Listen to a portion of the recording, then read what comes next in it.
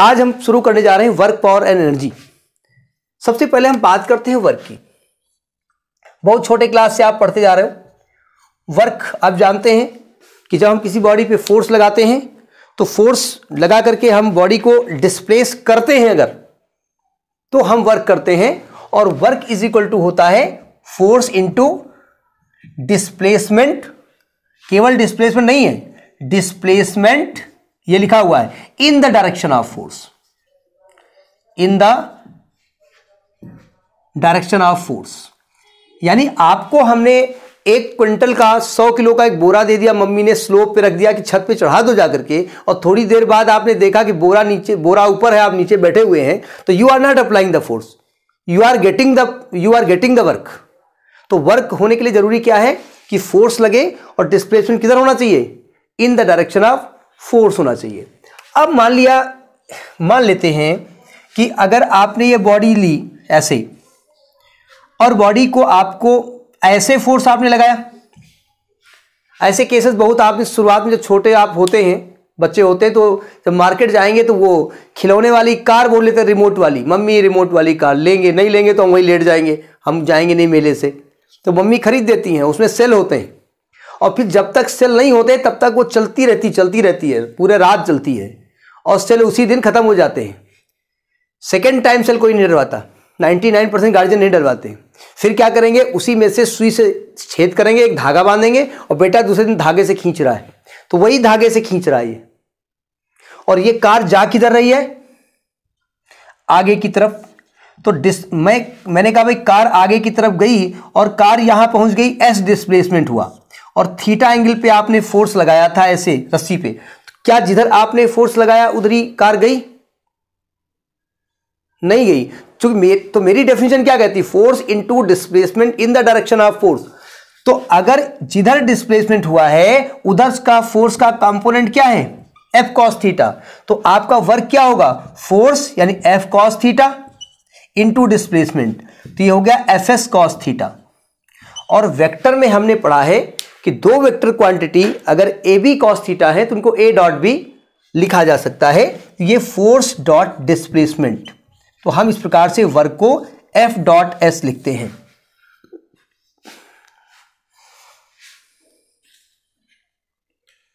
ए dot B नहीं पढ़ा आपने, ए बी कॉस थीटा। नहीं, बहुत ज़्यादा रिकैप नहीं लगाएँगे, वरना बहुत ज़्यादा कैप लगानी पड़ेगी। दो वेक्टर क्वांटिटी अगर कॉस उसका है हमने कहा था, देखिए ध्यान से समझिए जब हमने प्रोडक्ट पढ़ाया था, हमने कहा वेक्टर क्या मल्टीप्लाई नहीं होता है। वेक्टर या तो सेम डायरेक्शन में हो तो मल्टीप्लाई होगा, या परपेंडिकुलर हो। तो जब ए और B cos theta same direction में थे तो हमने कहा था A B cos theta that was A dot B जब ए और बी साइन थीटा परपेंडिकुलर थे तो हमने कहा था मल्टीप्लाई होगा A B sine theta that was A cross B ठीक है? तो वो डॉट में आपने पढ़ा है। अब कुछ स्पेशल केसेस लेते हैं। स्पेशल केसेस अगर स्पेशल केसेस का मतलब ये जो थीटा है ना, ये वर्क को डिसाइड कर रहा है, अगर theta if theta is 90 degree तो वर्क कितना होगा? ज़ीरो होगा। एक कुली जब सर पे कोई बोझ लेकर के चलता है तो वो बोझ किधर की ओर काम करता है? नीचे की तरफ़। वो चलता किधर है? सीधे। तो बोझ यानी वेट और डिस्प्लेसमेंट के बीच कितना एंगल है? उसने वर्क कितना किया? आपने किताब ले रखी है अपने पास। उसने कहा, पैसा? बोले, काहे का पैसा? ये देखो, वर्क ज़ीरो है। तो ये ध्यान रखना, कहाँ पे आप बोल रहे हो। वो उनका मस्क, नहीं, वो तो एक एक साइंस है वो। साइंस कहता है, जिधर फोर्स लगा रहे हो भैया, उधर ही डिस्प्लेसमेंट करो। आप फोर्स कहीं लगा रहे हो, डिस्प्लेसमेंट कहीं करो, नहीं चलेगा। तो आप, अगर, अब वो कहेगा, भैया, बोझा ऐसे ला दें तो क्या प्लेटफॉर्म में धंस जाए हम? तो वो वर्क करता है मस्कुलर वर्क वो जो पैसा हम देते हैं, वो साइंटिफिक वर्क ये जो साइंस वाला है, उससे नहीं देते हैं। वो मस्कुलर वर्क होता है, इसलिए वहाँ पैसा दे देना और ये गड़बड़ ना करना। अच्छा दूसरी बात, अगर थीटा एक्यूट है एक्यूट बोले तो लेस देन 90 तो W will be positive positive work का मतलब होता है you have done the work जो जो वर्क आप करते हैं, वो पॉजिटिव होता है। ठीक है? अभी करते हैं और कैसे करते भी मैं बता रहा हूँ। तीसरी बात, अगर थीटा ग्रेटर देन 90 है ऑप्ट्यूज है तो कॉज 90 से बड़ी वैल्यू क्या होती है? माइनस। तो work will be negative, minus. यानी वो वर्क आपको ऑप्टेन होता है। आपने फोर्स ऐसे लगाया और जो बोझा है जो वेट है वो आप, आप ही की तरफ़ ऐसे धक्का मार रहा है तो डिस्प्लेसमेंट ऐसे कर रहे हैं और धक्का इधर लग रहा है तो थीटा कितना हो गया? मोर देन 90 डिग्री तो वो वर्क आप कहाँ कर रहे हैं? वर्क आपको ऑप्टेन हो रहा है। तो जो वर्क ऑप्टेन होता है वो कैसा होता है? नेगेटिव होता है। देखिए दो तरीके से है। नहीं दो तरीके से है। जहाँ पर फोर्स ऑफ़ अट्रैक्शन होता है वहाँ वर्क आपको नहीं करना पड़ता। वहाँ वर्क आपको देखिए अब इस फॉर्मूले की बात नहीं, नहीं कर रहा हूँ। जहाँ पर फोर्स ऑफ़ अट्रैक्शन होगा वहाँ वर्क आपको नहीं करना पड़ेगा। वहाँ वर्क अपने आप ऑप्टेन हो जाएगा। और जहाँ पर फोर्स ऑफ़ रिपल्सन होगा वहाँ वर्क आपको करना पड़ेगा। वो वर्क आपका पॉजिटिव होगा। कैसे? हम 10 मंजिल चढ़ के जाते हैं मॉल में तो हमको ग्रेविटी के अगेंस्ट चलना पड़ता है। देखो तो यहाँ थीटा से काम नहीं चलेगा। थीटा नीचे है, हम ऊपर नहीं, ऊपर जा रहे हैं। ना। एम किधर काम कर रहा है? हम किधर जा रहे हैं? कितना फोर्स लगा रहे हैं? एमजी के बराबर ही तो लगा रहे हैं। तो हम एक्चुअली फोर्स किधर लगा रहे हैं? वो हम जा भी ऊपर रहे हम ही तो फोर्स लगा रहे हैं भाई। तो हम वर्क कर रहे हैं ना। अब हम ऊपर गए और ऊपर से नीचे उतर के आना था। हमने कहा, कौन जीने से आए? कौन लिफ्ट से आए? हम वहीं से फांद गए। Because earth is loving me earth is earth मेरी माता है। उसने मुझे अट्रैक्ट कर लिया। तो वो वर्क हमने किया कि ऑप्टेन हुआ। तो वो वर्क कैसा होगा? उसी में हम निगेटिव हो जाते हैं। नहीं, वो हो जाते हैं कभी कभी तो थीटा क्या होगा? अगर थीटा 90 डिग्री है तो वर्क ज़ीरो अगर कहीं पे आपने फोर्स लगाया बॉडी को और डिस्प्लेसमेंट आकर के वहीं पे आप लौट आए तो वर्क कितना हो गया? ज़ीरो। यानी सर्कुलर पाथ में अगर बॉडी मूव करा रहे हो और बॉडी पूरा एक रोटेशन कंप्लीट कर लेती है तो वर्क कितना होता है? ज़ीरो। तो छोटी छोटी बातें हैं जो कि हम जानते हैं, ठीक है? अब यूनिट की बात करते हैं फोर्स वर्क की यूनिट क्या होती है? अब देखिए, हमने बताया था जो डायमेंशन आप पढ़ रहे थे कि भाई बहुत चीज़ें होती हैं जो आगे आएँगी धीरे धीरे यूनिट ऑफ़ वर्क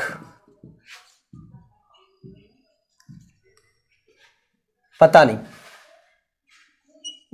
हम हम कोई चीज़ निकाल के दिखाएँगे। बहुत जल्दबाजी में नहीं एक सुपर कंप्यूटर को भी टाइम लगता है। देखिए, मैं यूनिट की बात करता हूँ। W is equal to F into S हमारा फार्मूला था। एफ़ एस कॉस थीटा लिखने से कोई मतलब नहीं। कॉस थीटा मतलब नथिंग कॉस का मतलब होता है फोर्स का एक कंपोनेंट है वो।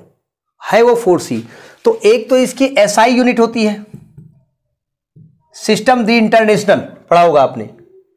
तो एसआई यूनिट क्या होगी है? न्यूटन मीटर या जूल। ठीक है? अगर दूसरी हम सीजीएस यूनिट लेते हैं सीजीएस यूनिट तो न्यूटन की सीजीएस क्या होती है? डाइन, सेंटीमीटर या ये क्या होती है? सीजीएस में क्या यूनिट होती है? शॉर्ट नेम क्या होता है? Erg. Erg. One joule is equal to ten to power seven erg ये हमने आपको डायमेंशन में बताया भी था। जैसे one newton is equal to ten to power five dyne होता है। उसी प्रकार से ये होता है अर्घ में। एक हम ग्रेविटेशनल यूनिट ले सकते हैं। ग्रेविटेशनल यूनिट एक्चुअली में फोर्स की होती है। फोर्स की क्या होती है? KG force. KG force meter. और केजी फोर्स को न्यूटन में कन्वर्ट करने के लिए हम क्या करते हैं? जी से मल्टीप्लाई कर देते हैं और that will become in newton ठीक है? तो ये अलग अलग यूनिट है।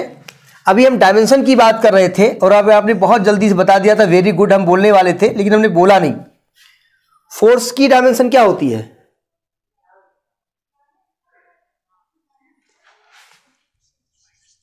एम और इनटू डिस्प्लेसमेंट तो इसकी क्या हो जाएगी? M L square T minus two ना बोला करिए, या तो T two power minus two बोला करिए या टी इनवर्स टू बोला करिए। Correct your language not T minus two T two power minus two या टी इनवर्स टू ठीक है? क्योंकि आप टी माइनस टू करोगे तो हम भी कम नहीं, हम ऐसे लिखेंगे। हम लिखते हैं, ऐसे लिखते हैं, ठीक है? तो ये इसकी डायमेंशन होती है, ठीक है? अब एक्चुअली में वर्क क्या है? एनर्जी है। वर्क एनर्जी है। एनर्जी की बहुत यूनिट होती है अर्ग भी होती है। अब जब इलेक्ट्रिसिटी में जाएँगे तो इलेक्ट्रॉन वोल्ट भी होती है कैलोरी भी होती है किलो वाट आर भी होती है तो ये बाद में बात की जाएगी। अब लिखिए work done by a variable force work done by a variable force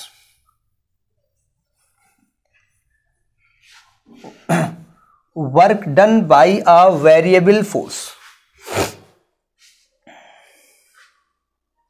variable force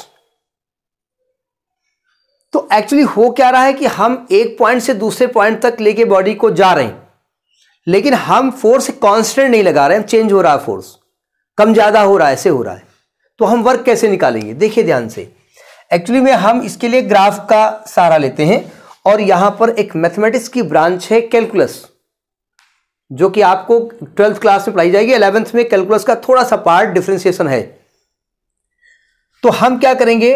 displacement और फोर्स के बीच ग्राफ खींचते हैं। ये डिस्प्लेसमेंट है एस और ये फोर्स है एफ़ तो अब देखिए, हमको यहाँ से यहाँ तक जाना है।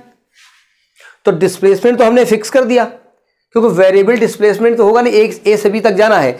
लेकिन हमने क्या किया? ऐसे फोर्स लगाया। कम ज़्यादा लगाया हमने। या कैसा भी टेढ़ा मेढ़ा फोर्स लगा हुआ है, और बॉडी को यहाँ से यहाँ तक डिस्प्लेस किया। यानी x1 से लेकर के x2 तक डिस्प्लेस किया। तो अगर मुझसे कहा जाए डिस्प्लेसमेंट क्या होगा तो आप कहेंगे वो तो X two minus X one होगा। लेकिन मजबूरी है कि जब फोर्स अलग अलग है तो हम work simply force into displacement नहीं लगा सकते। तब हम क्या करेंगे? देखो ध्यान से। अभी आगे कैलकुलस में उसमें कैलकुलस यूज़ की जाएगी ग्रेविटेशन में वो ध्यान समझिएगा। जरा सावधान। अगर मैं बहुत छोटी सी एक पोर्शन ले लूँ, बहुत छोटा सा पोर्शन, और इसको ऐसे खींच दूँ, बहुत छोटा पोर्शन। यानी ये डिस्प्लेसमेंट जो है ना, वो dx है। कुछ ज़्यादा छोटा लिखा भी है अब लिखो बड़ा, लेकिन कहो वो छोटा है। Dx है। ठीक है एक्चुअली वो डेल्टा एक्स होता है। आपको याद होगा इंस्टेंटेनियस और एवरेज वहाँ पर इंस्टेंटेनियस में हमने टाइम को बहुत इस्तेमाल लिया था तो हमने डी टी वर्ड यूज़ किया था, है ना? अगर मैं ऐसा खींचता हूँ, ये मान फोर्स है तो ये आपका एक हल्का सा स्ट्रेट लाइन दिख रही है, बिल्कुल सीधी, बहुत छोटा आपने लिया तो ये रेक्टेंगल बन गया। ये एक रेक्टेंगल बन गया तो इसके लिए आप कह सकते हैं कि फोर्स इंटू डिस्प्लेसमेंट लेकिन लेकिन लेकिन लेकिन, ये जो एफ़ माना है ना, वो यहाँ पे तो चेंज हो जाएगा। अगर मैं मैं यहाँ रेक्टेंगल लेता हूँ तो ये एफ़ की वैल्यू तो चेंज हो जाएगी। तो मैं इस एफ़ को ब्रैकेट में एक्स लिख देता हूँ। मतलब ये है तो फोर्स लेकिन एक्स का फ़ंक्शन है। एक्स का फ़ंक्शन बोले तो अलग अलग पोजीशन पे इसकी वैल्यू कुछ हो सकती है। ठीक है? और इंटू डी एक्स तो ये वर्क कितना हो गया? ये छोटी सी स्ट्रिप इस छोटे से डिस्प्लेसमेंट में। यहाँ पर जो फोर्स था ना, वो एफ़ नहीं था। एफ़ तो था, लेकिन वो किस पर डिपेंड कर रहा था? उस लोकेशन पे डिपेंड कर रहा था। अब हमने क्या किया इसमें बहुत सारे इस प्रकार से स्ट्रिप डाल दिए। तो ये तो स्मॉल वर्क हमने किया। और जब टोटल वर्क निकालेंगे, कहाँ से कहाँ तक जाने में? ए से बी तक जाने में ये small work done small work done हो गया। जब टोटल वर्क डन हम निकालेंगे टोटल वर्क डन। तो हम क्या करेंगे? इसको सिग्मा लगा देंगे। अभी लिखिएगा नहीं। इसको सिग्मा लगाएँगे डी डब्ल्यू। और ये टोटल वर्क हो जाएगा। हमारी मैथमेटिक्स इसी सिग्मा को इंट्रीगल कहती है। ये मैथमेटिकल साइन है। देखो, एस के आकार का है ये। इसको लैटिन भाषा में साइनन कहा जाता है। साइनन। हमारे एक प्रोफेसर साहब ने बताया था हमने कहीं इसको सर्च नहीं किया, उन्हीं की बात बाबा मैं बताता हूँ। उसको साइनन कहते हैं, ये लैटिन भाषा का शब्द है, वहाँ से ये सिंबल आया है सिग्मा। तो ये इंट्रीगल का साइन होता है, ठीक है? ट्वेल्थ क्लास में आप जाएँगे तो वहाँ इंट्रीगल पढ़ाया जाएगा इलेवेंथ में नहीं है। और बता दिया जाए कि जो कैलकुलस जो यूज़ हम कर रहे हैं, ये कैलकुलस पूरी जितनी मैथमेटिक्स पढ़ोगे यहाँ से लेकर के बड़े क्लासेस तक, उसमें कम से कम 50 से 60 परसेंट केवल कैलकुलस है। केवल कैलकुलस, हर जगह एप्लीकेबल है, ठीक है? और और इसकी जो खोज की थी, वो हमारे साहब, सर आइजक न्यूटन साहब। हाँ बहुत हाँ बहुत बहुत बढ़िया। जब हमें मिलेंगे कभी, हम ऊपर जाएँगे, जब मुलाकात हमारी उनकी होगी, तब हम उनको प्रणाम करेंगे। अच्छा कुछ बच्चे जो फेल वेल होंगे, वो तो जाके वहाँ उनको कहेंगे, तेरी है क्या बताऊँ? तुम ही न्यूटन आई हो। हाँ अच्छा आइंस्टीन साहब हाँ कौन सा फार्मूला दिए रहो? E by M C square proof किया तो नहीं क्यों? है? हम लोगों की हालत जानते हो क्या है? बड़ी मुश्किल में फार्मूला याद हुआ था। लेकिन हम लोग उनको जाकर के वहीं पर दंडवत प्रणाम करेंगे, क्योंकि because of that person in this room I am having one A C and next room in I am having one A C and very small car is also there तो उन्हीं की वजह से बढ़िया है। आज अर्णव साहब से हमारी जो है, पहचान हो रही है है ना?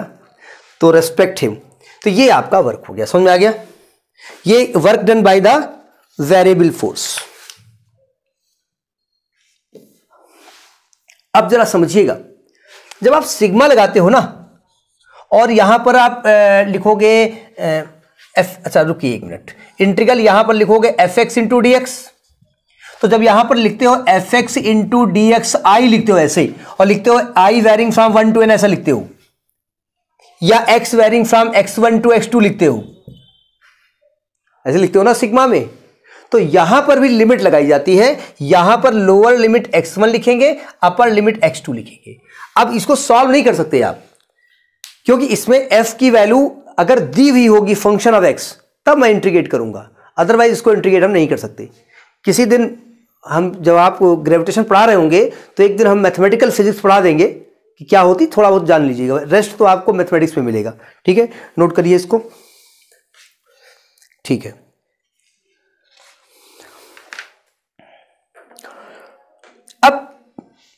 दो प्रकार के फोर्स होते हैं। एक होता है कंजर्वेटिव फोर्स और एक होता है नॉन कंजर्वेटिव फोर्स तो लिखिएगा कंजर्वेटिव एंड वो फार्मूला होता है। अभी वो नहीं कह सकते ना। एक्चुअली इंटीग्रल के बहुत सारे फार्मूले होते हैं। भाई एफ़ एक्स का मतलब एफ़ की वैल्यू एक्स के टर्म में दी हुई होगी। तो अगर एक्स टू पावर एन दिया होगा और एक्स के रेस्पेक्ट में इंटीग्रेट करोगे तो फार्मूला होता है X power N plus one upon N plus one वो फार्मूले होते बहुत सारे। बहुत सारे नहीं, बहुत सारे फार्मूले होते हैं।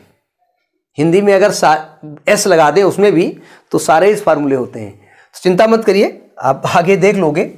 बहुत सारी बुक्स आपको पढ़ने को मिलेंगी सिंगेज की और अरिहंत वरिहंत की पढ़ेंगे तो बहुत बड़ा मज़ा आएगी। आगे देखते हैं। खैर अब दो प्रकार के फोर्सेस बारे में बात करने जा रहे हैं। लिखिए कंजर्वेटिव फोर्स हेडिंग डालिए कंजर्वेटिव फोर्स कंजर्वेटिव फोर्स अब जरा समझिएगा, ये कंजर्वेटिव फोर्स क्या होता है? हमने आपको एक टेबल दी फ्रिक्शन था उसमें बहुत सारा, और हमने कहा बॉडी को एक कॉर्नर से दूसरे कॉर्नर पे ले जाओ। आप टेबल पे ऐसे घुमा के ऐसे ले गए। हम सीधे ले गए। ठीक है? और आप ऐसे ऐसे एक आदमी के ले गया, किसको ज़्यादा वर्क करना पड़ेगा? जो ज़्यादा जग जग करेगा, जो ज़्यादा लंबा रास्ता तय करेगा। तो जिस फोर्स में वर्क डन जिस फोर्स में वर्क डन पाथ पे डिपेंड करता है। Not only initial and final position but also depends upon the path तो that type of force is known as conservative force ठीक है? तो लिखिए conservative force is the force. Conservative force is the force in which in which the work done the work done depends upon depends upon not only the initial and final position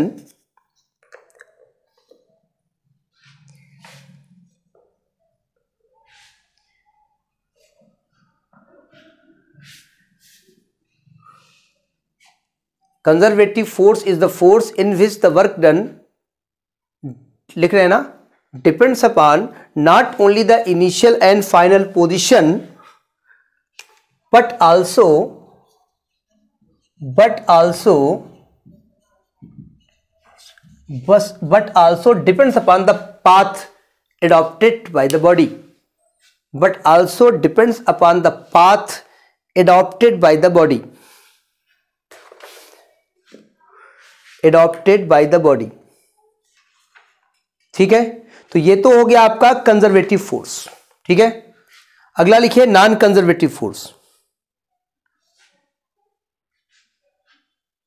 एक एक एक एक एक एक एक एक sorry एक minute एक मिनट ये नॉन कंजर्वेटिव है. सॉरी उल्टा बोल गया. ये नॉन कंजर्वेटिव है.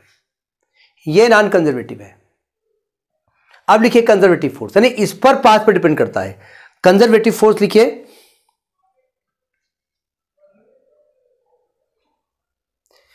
the force in which the work done depends upon the force in which the work done depends upon the initial and final position of the body depends upon the initial and final position of the body not on the path adopted not on the path adopted by the body is called conservative force is called conservative force अब example लिखिए frictional force is the non conservative force frictional force is non conservative force practically भी आप कह सकते हैं भाई, कई बार friction है मान किसी सड़क पे बहुत सारा फ्रिक्शन है, बहुत खुरदरी है टूटी टाटी रोड है तो आप कोशिश करेंगे शॉर्टकट निकल जाएँ। क्योंकि फ्रिक्शन होने की वजह से आपको जो फोर्स लगाएँगे, आपको वर्क ज़्यादा करना पड़ेगा, ठीक है? And gravitation force is a conservative force and gravitation force is a conservative force अब देखिए ग्रेविटे फ्रिक्शनल फोर्स नॉन कंजर्वेटिव होता है, ये तो प्रैक्टिकली हम जानते हैं। ठीक है? लेकिन ग्रेविटेशन फोर्स कंजर्वेटिव होता है, इसको मैथमेटिकली हम प्रूव करने जा रहे हैं। तो एक हेडिंग डालिए एक क्वेश्चन लिखिए प्रूव दैट एक क्वेश्चन लिखिए prove that prove that the gravitational force the gravitational force is कैसा है? कंजर्वेटिव या non conservative is conservative is conservative अब जरा समझिएगा, मैं क्या करूँगा? मैं एच हाइट पे जा रहा हूँ। तीन चार रास्ते तय करता हूँ। मैं सीधे एच हाइट पे चला जाऊँगा। मैं स्लोप के सहारे चला जाऊँगा। मैं स्टेयर्स बना के चला जाऊँगा। और मैं रस्सी बाँध के जिगजैग मोशन में जाऊँगा। और हर जाना एच हाइट पे है। मुझे मान लिया कटरा से वैष्णो देवी, माता वैष्णो देवी के मंदिर जाना है, वो सीधे हाइट हमको दिख रही है, ठीक है? तो हम सीधे बिल्कुल ऐसे हाइट पे पहुँच जाएँगे। पहुँच नहीं पाएँगे, मान लेते मान लेने में क्या दिक्कत है। एक होता हम ऐसे मंदिर के उस पर लगाएँगे, कटरा से एक सीढ़ी और ऐसे सीधे चढ़ जाएँगे स्लोप के सारे। तीसरा होता जीने के सारे चढ़ जाएँगे। एक होता एक एक स्टेयर्स होते हैं ना स्टेयर केस कहते हैं, क्या कहते हैं? स्टेयर केस होता है ना लैडर नहीं स्टेयर केस और एक होता है हम जिगजैग पाथ पे जाएँगे, ठीक है? तो लिखिए first case to go to the height H by the straight path. To go up to height h by the straight path. पहला केस स्ट्रेट वे हम जा रहे हैं। Straight way in upward direction जा रहे हैं। इन अपवर्ड डायरेक्शन जा रहे हैं। जरा समझने की कोशिश करो। सावधान, देखो ध्यान से। पहला केस, मैं ए पॉइंट से बी पॉइंट तक जा रहा हूँ। जा रहा हूँ एच हाइट पे। जब मैं कहीं पर था तो मेरा वेट नीचे काम कर रहा था और मुझे एच हाइट तक जाना था। तो हमने वर्क कितना करना पड़ेगा? एम जी एच पहला वर्क आ गया। लिखिए। आपको अजीब नहीं लग रहा कि एमजीएच गलत है? माइनस एमजीएच होना चाहिए। एमजी नीचे काम कर रहा डिस्प्लेसमेंट ऊपर की ओर है थीटा वन एट्टी डिग्री है। ओ ऐसा लग रहा है ना? है? क्या? क्यों तो एमजी तो नीचे लग रहा है? और, और, और जा ऊपर की तरफ़ रहे हो तो थीटा वन नहीं हो गया? नहीं 180 हुआ। मतलब एम जी नीचे डिस्प्लेसमेंट ऊपर थीटा 180 नहीं है। ना तो माइनस होना चाहिए ना। थीटा 180 कॉस 180 माइनस वन होता है। पहले ये बताओ, नहीं, आप बताओ 180 दिख रहा नहीं दिख रहा है? तो आप बताइए क्या दिक्कत है? क्या इस रेट से जा रहे हो? अर्थ आपको एम जी फोर्स से नीचे खींच रही है आप उतना ही फोर्स अपोजिट लगा करके ऊपर जा रहे हो भाई। तो you are not going upward with this with this force you are applying the same force in the opposite direction F dash that is also equal to M G तब आप एक कांस्टेंट वेलोसिटी से जा रहे हो। अगर आपने ज़्यादा फोर्स लगा दिया होता तो आप एक्सलेट हो जाते। मैं इसलिए पूछ रहा हूँ कि कभी कभी लोग कंफ्यूज कर देते हैं। आपके हाँ, हाँ होना चाहिए। बोले हाँ सर ने तो नहीं बताया। बोले हाँ माइनस होना चाहिए। बोले तो किताब में तो नहीं लिखा हुआ है। बोले, होता होगा तो ऐसा नहीं चलेगा। छोड़िए अच्छा समझ में आ गया? अब दूसरा केस लिखिए। When we go to height H when we go to the height H with a slope with a slope जब बाई स्लोप लिखिए by a slope making angle theta theta with horizontal यानी अब हम जा रहे हैं by slope मैं जा ए से बी तक ही रहा हूँ। जरा देखो ध्यान से। मैं जा ए से बी तक ही रहा हूँ। हाइट एच ही है। ठीक है? लेकिन मैं यहाँ थोड़ा सा दूरी पे यहाँ से ऐसे जा रहा हूँ। यानी मैं सी से चला हूँ थीटा एंगल पे पहुँचा एच ही हाइट हूँ। अगर यहाँ पहुँचने के बाद कोई हमसे कह दे कि आप अर्थ से कितनी हाइट पर हैं तो हम कहेंगे एच हाइट पे थे। आप कहाँ से चले? ग्राउंड से चला था मैं। पॉइंट चलने का अलग हो सकता है। जरा देखिए ध्यान से, जब आप यहाँ पर थे, यहाँ पर थे, इधर देखो तो आपका वेट नीचे एक्ट कर रहा था। क्या आप इस वेट के अगेंस्ट जा रहे थे? नहीं, हम तो इधर जा रहे थे। तो हम जहाँ पर स्लोप में थे, ये थीटा था तो इधर की ओर एक लग रहा था एम जी साइन थीटा और इधर की ओर लग रहा था एम जी कॉस थीटा तो एक्चुअली हम तो सी से बी तक जा रहे थे ना? तो सी से बी तक जब हम जा रहे थे तो हमें नीचे कौन खींच रहा था? एम जी साइन थीटा तो एक्चुअली हमने जो वर्क किया है ना यहाँ लिख रहा हूँ, मैंने डब्ल्यू टू वर्क किया है। तो फोर्स हमने क्या लगाया है? एम जी साइन थीटा और इंटू डिस्प्लेसमेंट क्या मेरा है? सी से बी तक है। तो C into B C B sorry तो एम जी साइन थीटा यहाँ क्या निकलेगा? परपेंडिकुलर अपान हैप्टन्यूस यानी A B upon C B तो ये आएगा A B upon C B into C B C B C B cancel out तो M G into A B is H W two हमने कितना वर्क किया है? उतना ही किया है जितना सीधे जाने में किया था। तो अब देखिए, मैं गया ग्राउंड से एच हाइट पर हूँ, मैंने पाथ चेंज कर दिया। लेकिन मेरे द्वारा जो किया गया वर्क है, वो इनिशियल और फाइनल पोजिशन पर डिपेंड कर रहा था। केस थ्री लिखिए। When we go by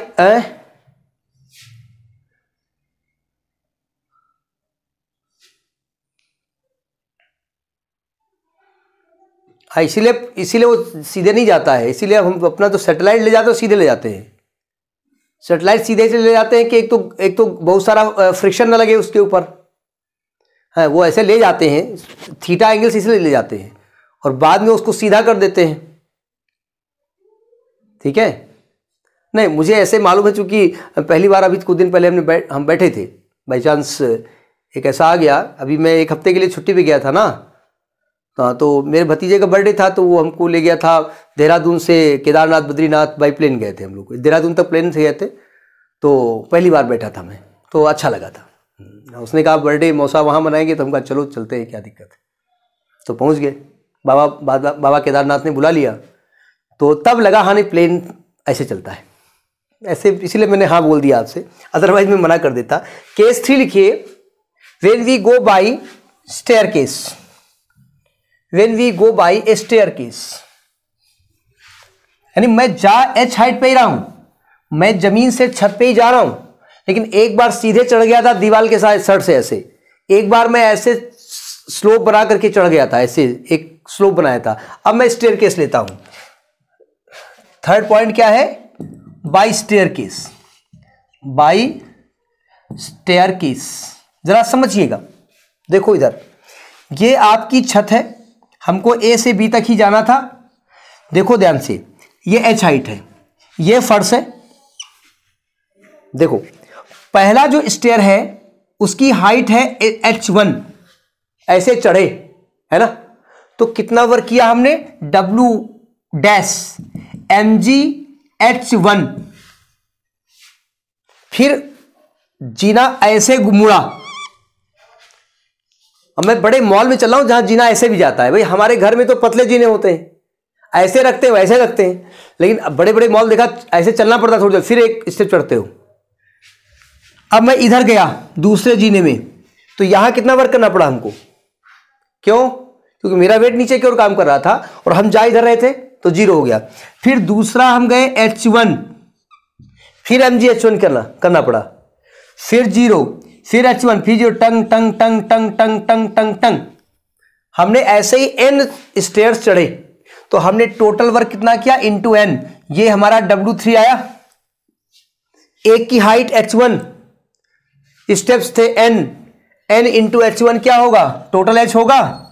M G H W three ये तीसरा केस है। यहाँ लिख देंगे where N H one is equal to N is equal to H there are N staircase each of height H one ये height है H one ये ये ये वाली नहीं एच वन ध्यान रखिएगा। तो अब बताइए, तीसरे केस में भी हमको वर्क उतना नहीं करना पड़ा? अब मैं जिग जैक पाथ से जाता हूँ। फोर्थ केस लिखिए। When we go by zig zag path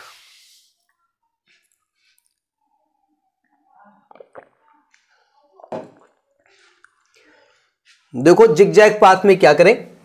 देखिए ध्यान से। ये एच हाइट पर जाना था। ये ग्राउंड थी, है ना?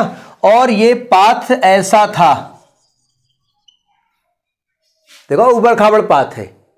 तो देखो ध्यान से, हमने छोटी सी हाइट यहाँ ले ली, ये डी एच है ना? और हमने जो वर्क किया, वो कितना क्या? M G into D H वही डेल्टा एच और ऐसे ही थोड़ा और D H D H D H D H और लगा दिया सिग्मा। ये हो गया डब्ल्यू फोर ये फोर्थ केस था by zigzag path zigzag path jack कहते हैं ना जेडे जी कहते हो ना? हाँ। तो मैं कर देता हूँ M G into sigma D H तो सिग्मा डी एच को एच मान सकते हैं? M G H W four ये जरा चारों इक्वेशंस को कंपाइल करिए। चारों को देखिए, हमारे रास्ते अलग अलग थे, लेकिन मंजिल एक थी। है? ये तो एक डायलॉग हो गया। रास्ते अलग अलग लेकिन मंजिल एक तो work done is the same तो हमने क्या देखा कि under gravity the work done depends upon initial and final position not on the path adopted so it is a conservative force तो ये हो गया वर्क